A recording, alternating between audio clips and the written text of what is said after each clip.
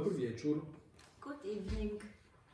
Guten Abend zur Kunstschau vom Kunstraum Kieswerk und Kunstraum Berlin. Heute sind wir im Kunstraum Kieswerk. Sie sehen es, wir haben es heute noch ein bisschen weihnachtlich. Wir sind noch immer im Weihnachtsmodus. Das wird auch Teil von unserem Thema sein. Was wir heute noch neu haben, das ist, wir haben einen Gast hier, Sebastian Smolin, als Dirigent, als Komponist, als Instrumentalist. Instrumentalist. Und äh, wir werden vielleicht in den nächsten Sendungen auch musikalisch was von ihm hören. Willst du da was, was schon ankündigen? Genau, das hast du gut gesagt. Äh, Ich habe schon mehrere Konzerte gespielt hier mit meinem Bruder, mit meinem Band Defibrillator und wir haben vor, äh, in der baldigen Zukunft etwas zu machen. Sie werden bald über uns hören.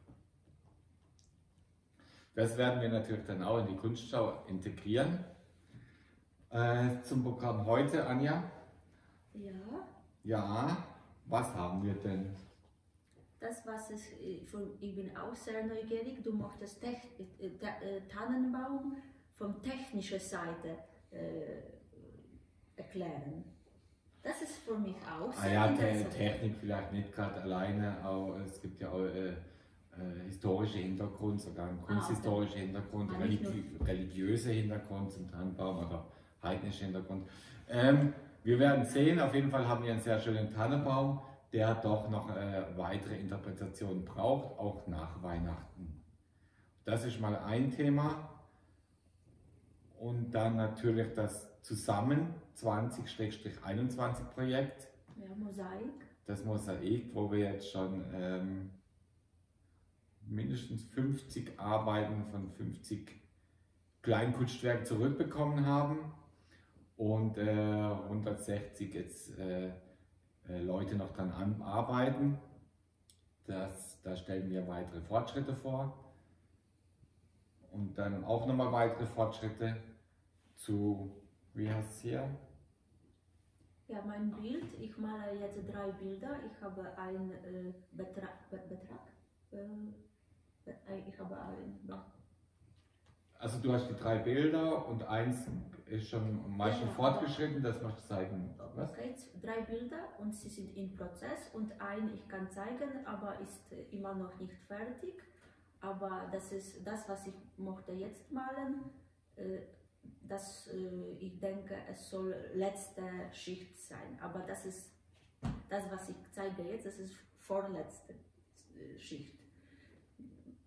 So, vielleicht das ist auch interessant, weil äh, später ich kann fertig zeigen und man kann sehen, das ganze Prozess früher war ganz bunt, jetzt ist ein bisschen organisiert, aber dunkel und später, ähm, ähm, später es bekommt diese richtige Farben, das, das ich mochte am Ende haben. Und am Schluss ist noch die Puga, die hat sich jetzt letztens mal beschwert, dass sie in der letzten Sendung doch zu kurz gekommen ist. Und das möchten wir doch, Puga, tut mir leid. Ja, Und das möchten wir doch wieder gut machen. Und zwar gibt es einen Text, der heißt Die Enttäuschung, wo die Puga die erste oder zweite Hauptrolle spielt. Also ein wesentlicher Bestandteil des Textes ist. Und äh, die Enttäuschung, das kommt dann gegen Ende der Sendung. Und das ist unser heute ein reduziertes weihnachtliches Programm, weil wir wollten auch Weihnachten feiern. ja. Und äh, deshalb äh, hat man die Kunstschau ein bisschen reduziert, aber trotzdem hoffentlich interessant genug für Sie zu Hause.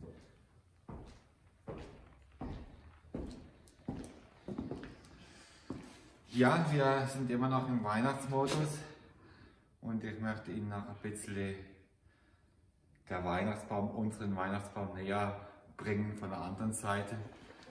Auch so ein bisschen so, es gibt zum Beispiel, früher habe ich viel Quartett gespielt mit meinen Mitkindern und äh, äh, Freunden und wie auch immer. Ähm, das schnellste Auto, das größte Schiff, das was ich, Flugzeug, wie auch immer. Und man könnte ja auch mal ein Quartett entwickeln mit Tannenbäumen. Also speziell mit Weihnachtsbäumen die meiste Beleuchtung, die größte die größten Äste und so weiter. Und vielleicht sollten wir jetzt erstmal ungefähr den hier messen, weil der ist aber schon ganz gewaltig. Also wenn ich jetzt hier nochmal, sicher nochmal so 40 cm hochgehe, dann haben wir hier schon mal eine Höhe von, von, von, na, ach ja, von 2,80 Meter. Ne? Aber das Spezielle beim dem Baum ist, glaube eher die horizontale Länge. Das heißt, von einem Ast bis zum anderen, weil da hat nämlich eine ganz spezielle Auslegung, Austragung und da sind wir nämlich auch bei 2,80 Meter. Das heißt, er ist so breit wie hoch und seine Schwingen oder seine Äste sind bis zu 1,40 Meter. Das war das erste. Dann ist der Baum hier aus dem Schwarzwald. Wir sind ja hier in der Nähe von Basel, also am, also am Ausläufer vom Schwarzwald, hier in der Rheinebene. Und eine halbe Stunde weiter im Wiesental, genauer gesagt im kleinen Wiesental. Das ist äh, nah am Belchen. Da hat mein Vater ein Grundstück und von dort ist der Baum. Also weil die ganze Geschichte ist ja so, wenn man bedenkt, früher haben wir unsere Bäume immer vom Weihnachtsbaumverkäufer gehabt. Und so ein Baum, da muss natürlich auch durch den, durch den äh, Geburtskanal, wenn Sie da sich, erinnern wir haben, das, wir haben den Geburtskanal und hinten dran das Netz. Und jeder Baum muss früher oder später da durch, bevor er verkauft wird oder bevor er transportiert wird. Das ist natürlich so, wenn ein Baum das von vornherein schon weiß und die Bäume, das ist ja äh, die werden ja gezuchtet, das ist ja eine Massen, Massenbaumzucht. Ne? Und die wissen alle genau, sie müssen durch den engen Geburtskanal, bevor sie verkauft wird. Der Baum hat von Anfang an gewusst, der gehört da nicht dazu. Deshalb hat er sich so entfalten können und ist so schön gewachsen. Volker, was ist, Anja, ich bin mittendrin im Erzählen. was ist das hier? Das Schweinchen, Okay. das ist ein Wildschwein. Ja, das ist Wildschwein. Jeder Weihnachtsbaum braucht ein Wildschwein. Was ist das hier? Das ist mein Wildschwein.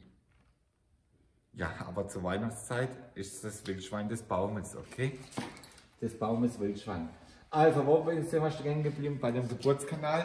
Ah, und dann ist das so, hauptsächlich werden ja Normannstannen, Nordmannstannen gekauft. Aber die Nordmannstanne, also nichts, aber die Nordmannstanne ist ja sehr schön, wird aber eben ganz stark als äh, in der Massenbaumzucht verwendet. Und äh, die Nor Nordmannstanne, die kommt nicht aus dem Norden, wie der Name vorgibt, sondern die wurde entdeckt, äh, ich weiß den Vornamen nicht mal, von jemandem, der heißt Nordmann.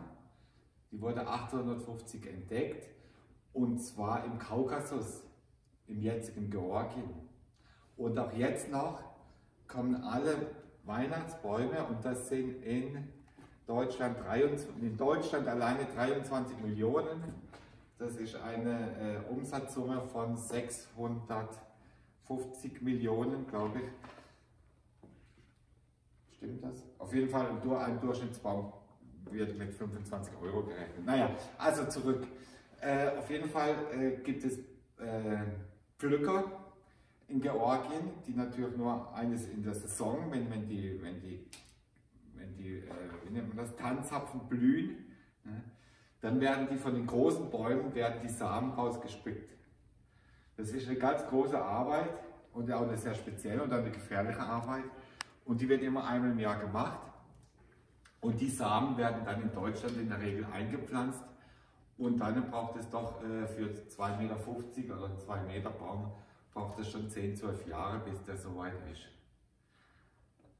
Und ähm, eben das ist so, das zur Nordmannstanne. Das hier ist eine richtige schöne Weißtanne und eben aus dem Schwarzwald und auch nicht in der Massen Weihnachtsbaumzucht aufgezogen, sondern in einer kleinen Gruppe in einem schönen Gebiet, Garten. Garten, im schönen Garten. Also das vielleicht jetzt noch einmal, das war jetzt nochmal eine andere Einsicht zu unserem Tannenbaum. Hoffe, wir haben nächstes Jahr wieder so einen schönen. Wahrscheinlich zeigen wir den nochmal. Es ist auch so, dass die Tradition, der Weihnachtsbaum selber, der, ist ja, der kommt schon von, von, den, von den Heiden, also von den Kelten, aber eigentlich wurde er im Elsass äh, um 16, 1550 bis 1600 entdeckt. Das war genauer gesagt in Straßburg. Gibt es äh, schriftliche, die erste schriftliche Erwähnung über den Weihnachtsbaum, und zwar dort im, Bas, im Straßburger Münster. Und die Tradition ist auch, dass der Weihnachtsbaum bei den ähm, Reformierten in der evangelischen Kirche, dass der um 6., also bei Heilig Drei Könige, 6., 7. Januar oder 6. ist es, glaube ich, äh, verbrannt wird, oder früher war das so, wurde verbrannt, und bei den Katholiken am äh, Anfang, de, Anfang Februar, ich glaube am 2. Februar. Und wir wiederum werden den natürlich auch gebührend dann äh, in seine Jagdgründe entlassen, also entweder durch einen tollen Weitwurf oder durch eine Verbrennung. Wir werden sehen.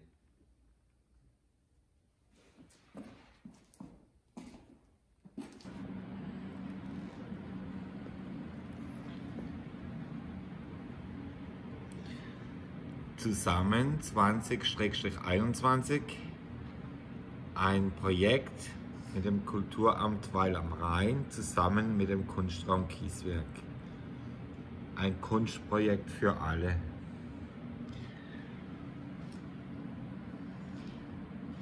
Und zwar ist das ein Projekt, das mit 300, 400 Kleinkunstwerken, die Sie hier zum Teil schon sehen, zusammengefügt wird zu einem großen Bild, das circa 6 Meter lang ist im Original dann und das in 9 Meter Länge über der Hauptstraße in Weil am Rhein präsentiert wird. Es kann jeder mitmachen, wirklich jeder. Wir haben auch schon über 170, 180 Teilnehmer und haben auch schon 50 fertige Arbeiten zurückbekommen. Und ähm, ja, jeder ist aufgerufen, da teilzunehmen bei der Anja Tschetschewska, der Künstlerin, und mir, Volker Scheurer. Wir machen die Kuration, wir haben auch die Idee entwickelt und wir gestalten das dann nachher auch, wenn die Karten zurückkommen. Ich zeige Ihnen jetzt mal eine kleine Auswahl.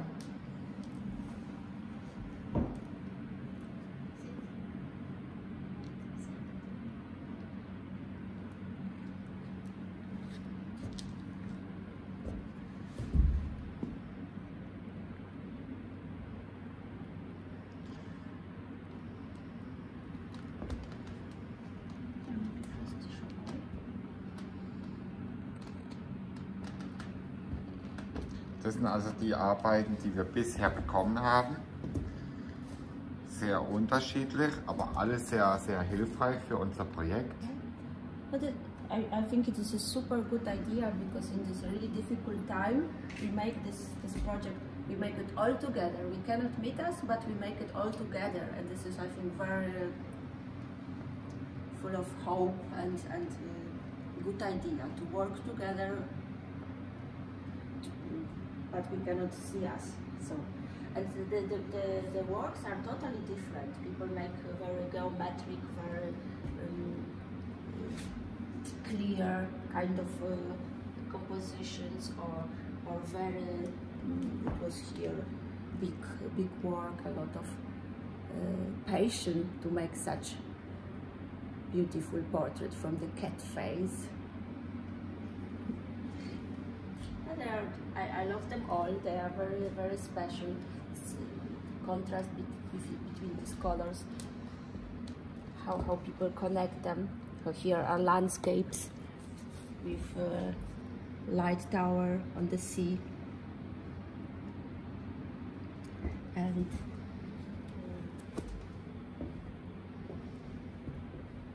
we have two butterflies, I see. We have some hearts. coronavirus also found a place. And later, when, when we will have all of them, then we start then we start our work. We have to build a composition, connect them. Of course, it's very difficult to connect such different worlds, such different uh, pictures. But I think um, then I will start to think all of, about them very abstract, and I will try to find uh, colors together and then connect them and make nice mosaic another painting with, using this all of this all paintings, uh, small paintings what we have here.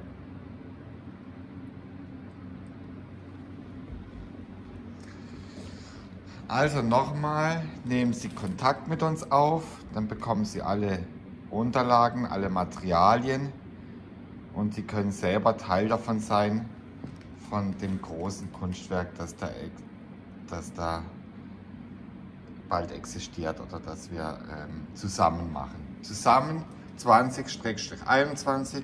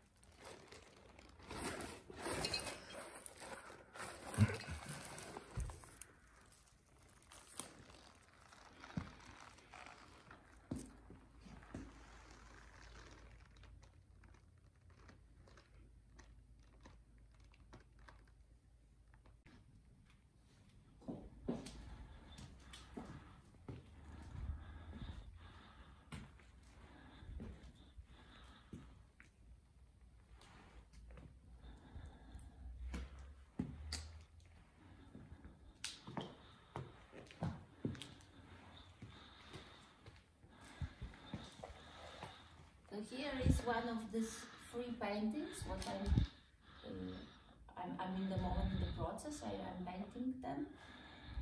Uh, this is uh, this is the, the, the level the, the the level before the last layer. What I what I will do. I made uh, different backgrounds, different layers of backgrounds. First with spray, later with oil colors and pigments. I make the structure, what, what, you, could see what I do often in my paintings. And now, this week, I will paint the last, this, the last layer. The, the background is uh, darker a little bit in the moment because I like this contrast later. Uh, now I will paint very bright orange and lighter blue. This is my idea for this painting. So I hope next next uh, week I can show you the final result of this painting. I'm in process with all three works together. This one is uh, is uh, the first what I will finish, but two another are also in process. I have to every time wait when it's dry before I can start with with another part. And this is uh, this is for me also important when I think about the, the, the final result to, to prepare darker darker colors then when I put brighter over them they really shine strong and it helps also to me to, to show a perspective this deepness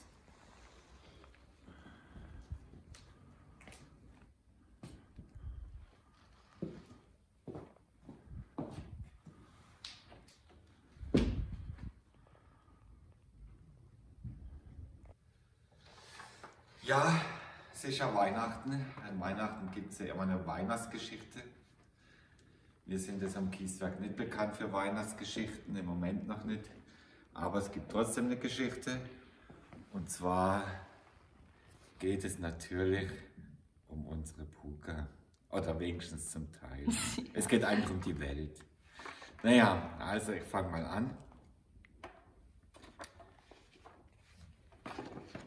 Die Enttäuschung. Die Enttäuschung war ihr anzusehen. Natürlich versuchte sie, nachdem sie die Fassung wieder erlangte, sich, nicht sich nichts anmerken zu lassen. Die aufgesetzte Mimik kann die Niederlage nicht ganz überspielen. Um die Nase sind einige kleine Fältchen, die sich nur bei großer Bedrückung und Niedergeschlagenheit zeigen und tief in ihren Augen. Ganz tief unten kann ich es lesen. Ich bin enttäuscht. Lass mich in Ruhe. Wir haben die letzten sieben Jahre sehr viel Zeit miteinander verbracht und uns gegenseitig kennengelernt. Ich sehe ihr die Schmerzen an, auch wenn sie wie in diesem Fall von inneren Verletzungen herrühren. Vielleicht ist es besser, ich hole etwas aus, um besser zu verstehen, was geschehen ist und eventuell noch passieren wird und wieso das Gemüt der Möpsin in so ruinösem Zustand ist. Unsere Puga wurde von uns beiden Künstlern, Anja und mir, ganz im basisdemokratischen, antiautoritären Sinne großgezogen. Wir lehrten ihr Empathie, friedvoll und gerecht mit ihrer Umwelt zu interagieren. Von Anfang an war uns das gemeinsame Gespräch und der breite Informationsaustausch wichtig, um der jungen Puga wichtige Entscheidungen zu ermöglichen, die den Weg in ihre Zukunft bestimmen. Die politische und soziogesellschaftliche Bildung war uns bei der Erziehung unserer Möpsin sehr wichtig, da nur ein intellektuell und soziologisch gut aufgestellter Mops sich den wichtigen Fragen der Zukunft stellen kann. Nach der öffentlichen Welpenschule haben wir den Unterricht mehr und mehr auf die private Ebene gehoben, da ihr Wissensdurst gewaltig war und ist.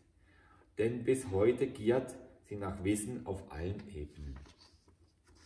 Die verschiedenen Gesellschaftsideologien und die einhergehenden Revolutionen, die zu Gesellschaftsveränderungen führten, waren ihr Schwerpunkt im Hausunterricht. Nicht, dass wir sie zur Anarchie erzogen hätten aber die Lehre über die Revolutionsführer und Führerinnen der letzten 500 Jahre faszinierte Puga von Geburt an. Natürlich hat man als Eltern eine große Verantwortung dahingehend. Der gewaltfreie Widerstand eines Mahatma Gandhi, Zitat, zuerst ignorieren sie dich, dann lachen sie über dich, dann, be dann bekämpfen sie dich, dann gewinnst du ist natürlich dem gewaltverherrlichten Revolutionskampf eines Che Guevara, ebenfalls Zitat, seien wir realistisch, versuchen wir das Unmögliche vorzuziehen. Oder? Jedenfalls hat uns unsere intellektuell stark entwickelte Mobsdame, hat sich unsere extrem, Entschuldigung, jedenfalls hat sich unsere intellektuell stark entwickelte Mobsdame stark und extrem radikalisiert. Speziell in den letzten fünf Jahren. Anfangs wurden ganz unauffällig kryptische Nachrichten vor unserem Haus und Atelier mit vorüberziehenden Mopsen ausgetauscht oder es wurden Geheimcodes im freien, Welt, im freien Feld oder im naheliegenden Wäldchen hinterlassen. Dann war Buga die treibende Kraft, als in Basel eine monatliche konspirative Zusammenkunft organisiert wurde. Die Menscheneltern wurden von den Mobs nur als Tarnung mitgeschleppt und die Mopse kamen Monat für Monat ihrem Ziel einer globalen Mopsifizierung näher. Das jährlich inszenierte Mopsrennen war nur vordergründig eine sportliche Veranstaltung. Für die weit über 100 Möpse aus verschiedenen Nationen dient dieses Treffen dem geheimen Austausch und der weltweiten Verbreitung der ideologischen Idee, die diese kleinen Kreaturen zusammenführte. Unsere Puga war von Anfang an Wortführerin und das ideologische Gewissen der Gruppierung. Dass Basel als helvetische Stadt einmal der Ausgangspunkt einer weltweiten Revolution wird, hätten wahrscheinlich zu diesem Zeitpunkt nur wenige Politologen in Betracht gezogen. Andererseits ist das vielleicht die Konsequenz aus dem viel zu späten Frauenwahlrecht. Erst 2800 Jahre nach den Etruskerinnen durften die eidgenössischen Frauen wählen. Da rumort es natürlich unter der friedlich erscheinenden Oberfläche. Bei dem letzten Basler Treffen, es wird wahrscheinlich in die Geschichtsbücher eingehen, ist jedenfalls das passiert, was bei Puga diesen tief enttäuschten Gesichtsausdruck hinterließ. Kurz vor Weihnachten und kurz vor der geplanten großen Weltrevolution, die die Möpse angestoßen haben, bei der letzten geheimen Sitzung ist es dann geschehen. Unsere Puga war kurz davor, nach geglückter Revolution den Weltthron zu besteigen, aber nein. Sie, die Putschistin der ersten Stunde, wurde von ihrem ersten großen Putsch aus den eigenen Reihen vom Thron gestoßen, bevor die Revolution in Gang gekommen ist. Der Mops Paul hat in einer folgenden Rede seine Position als Revolutionsführer für sich in Anspruch genommen und wurde von der großen Menge, speziell von der weiblichen, frenetisch gefeiert. Er, der seine animanischen Bedürfnisse nicht nur zur Schau stellt, sondern diese auch zum Programm für die neue Gesellschaft machen will. Er hat die jahrelange konspirative Arbeit von Puga in einer einzigen Rede fast zunichte gemacht. Die arme Puga, die intellektuelle Diva, hat das eigene Mobsvolk und, Mobsvolk und ihre Mitstreiter unterschätzt, besser formuliert, überschätzt, was ihre Treue zur Revolution und deren Ideale angeht. Nun, die Enttäuschung ist immer noch groß, aber der Kampf geht weiter. Schließlich geht es, um, geht es Puga darum, sich in einer Welt, in der die Nahrungsressourcen schwinden, die Menschen von den Fleischtöpfen zu verdrängen, notfalls auch zu eliminieren oder zur Fleischzucht freizugeben. Und den Möpsen wieder die Macht zurückzugeben, die ihnen aus dem frühen chinesischen Kaiserreich indoktriniert wurde. Es lebe die Revolution. Volker Scheurer 2020.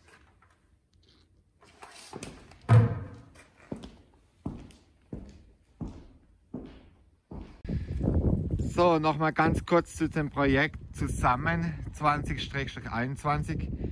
Die schwarze Tafel hier, wo die Anja in der Hand hat, das ist nachher das Originalbild. Da gibt es auch schon einige Kopien, wo ich mal als Platzhalter eingesetzt habe. Und hier im Kunstraum Kieswerk, hier an der Glastür, bekommen Sie auch die Unterlagen und die Materialien von uns. Also, bitte kommen und mitmachen.